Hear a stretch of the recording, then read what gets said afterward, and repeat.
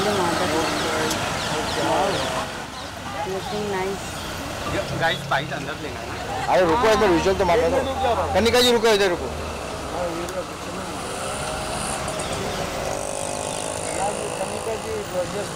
Ma'am आपकी साड़ी बहुत अच्छी लग रही है। साड़ी के बारे में बताइए। साड़ी एक्चुअली मेरी भी फेवरेट साड़ी है। एंड ये साड़ी के पीछे एक बहुत स्पेशल सी कहानी भी है। जो एक गोदावरी की पैठनी साड़ी है। एंड इसकी कहानी जानने के लिए सबको जी फाइव पे पैठनी शो को देखना है। कौन से तारीख सी तारीख. आज से? कल बहुत आज से? आज से है? टाइमिंग हाँ? टाइमिंग तो शो है तो क्या रहा है? टाइमिंग से उसमें वो गोली खत्म हो गई बिज़ी शेड्यूल के हाथ में रख हमने है मैम यहाँ देखिए। अरे रुको। और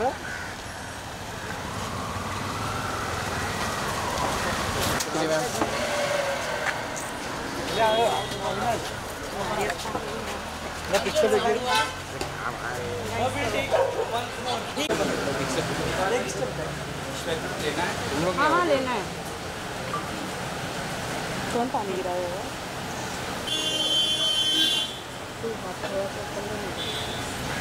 मैम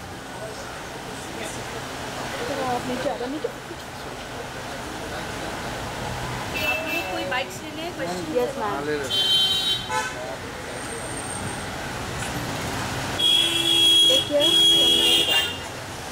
मैम आपकी साड़ी बहुत अच्छी लग रही है साड़ी के बारे में बताइए। है ना? साड़ी एक्चुअली मेरी भी फेवरेट साड़ी है। वाइट में लेना। साड़ी गोदावरी की ऊपर- ऊपर पैठनी mic ऊपर। साड़ी है। एंड इसके पीछे एक स्पेशल कहानी है जो मैं चाहती हूँ आप सब देखें आप सब जानें। एंड इसके लिए आपको जी फाइव पे जाके शो देखना पड़ेगा सिंपल सा थैंक यू बाइट लें। ओके एक मिनट एक मिनट थैंक यू सबसे पहले जानना चाहेंगे अपने आपके आउटफिट के बारे में काफ़ी खूबसूरत लग रही है। क्या कुछ कहना चाहेंगे आप? Thank you so much once again and ये एक स्पेशल साड़ी है पैठनी साड़ी पता नहीं सबको पता है इसके बारे में या नहीं। अह, तो ये स्पेशल हमारी कहानी।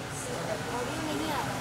ऑडियो नहीं आ रहा। हाँ लो लो चलो। यार आप लोग या स्टार्टिंग से so thank you so much and yes ये आउटफिट एक्चुअली काफ़ी स्पेशल आउटफिट है it's a Paithani sari and ये हमारे एक शो आ रहा है जी फाइव पे कॉल पैठनी एंड उसमें गोदावरी करके कैरेक्टर हैं जो कि पैठनी साड़ियाँ ही बुनती हैं तो उनको ध्यान में रखते हुए और क्योंकि मुझे शो पसंद आ रहा है बहुत ज़्यादा आप सब देखेंगे तो आपको बहुत अच्छा लगेगा तो हमने आज पैठनी लुक रखा वाह साथ ही साथ ये भी जानना चाहूँगी कुछ टाइम पहले आपका सॉन्ग आया था काफ़ी लोगों को पसंद आया था तेरह मिलियन तक गया था और अब तक शायद वो रन कर रहा है। क्या कुछ कहना चाहेंगी? अपकमिंग में क्या है आपका? देख कोई भी काम जब हम करते हैं और वो अच्छा चलता है ऑडियंस को पसंद आता है तो हमें अच्छा ही लगता है। तो उसमें तो इतना ही कहूँगी कि मुझे बहुत अच्छा लगा सबको हमारा काम अच्छा लगा। एंड क्या आ रहा है? चीज़ें बातें मुझे चल रही हैं कुछ चीज़ों का प्री प्रोडक्शन चल रहा है तो आते ही अनाउंस करती हूँ जल्दी। बिग बॉस चल रहा है, बिग बॉस में आपके काफ़ी दोस्त गए हैं तो सबसे फेवरेट कंटेस्टेंट कौन सच बताऊँ मैं इनजस्टिस करूँगी एक नाम लेके, क्योंकि मैं फॉलो नहीं कर रही हूँ तो मैं एक ले दूँगी, पता चले उसने ही उस हफ़्ते कुछ नहीं किया। हो लेकिन जितने मैं थोड़ा बहुत इंस्टाग्राम पे देखती हूँ एंड क्योंकि मैं पार्शल भी रहूँगी, जो लोगों को जानती होती हूँ, ईशा को लेके, अविनाश को लेके, इन दोनों को मैं सबसे जानती हूँ तो I think they doing good Kanika मैं अ, इससे पहले जब हमारी बात हुई थी इंटरव्यूज़ में। तो आपने कहा था रियलिटी शो जब मिलेगा बिग बॉस जैसे तो मैं डेफिनेटली करूँगी।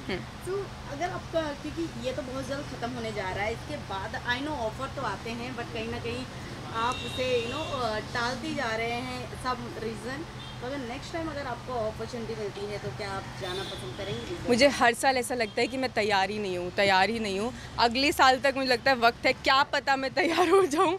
मुझे हर बार लगता है कि नहीं I won't be able to handle that show काफ़ी डिफ़िकल्ट है। लास्टली क्या कुछ कहना चाहेंगे thank you so much everybody खूब सारा प्यार देने के लिए एंड नया साल आने वाला है। उम्मीद करती हूँ आपका नया साल शुभ हो। Thank you so much thank you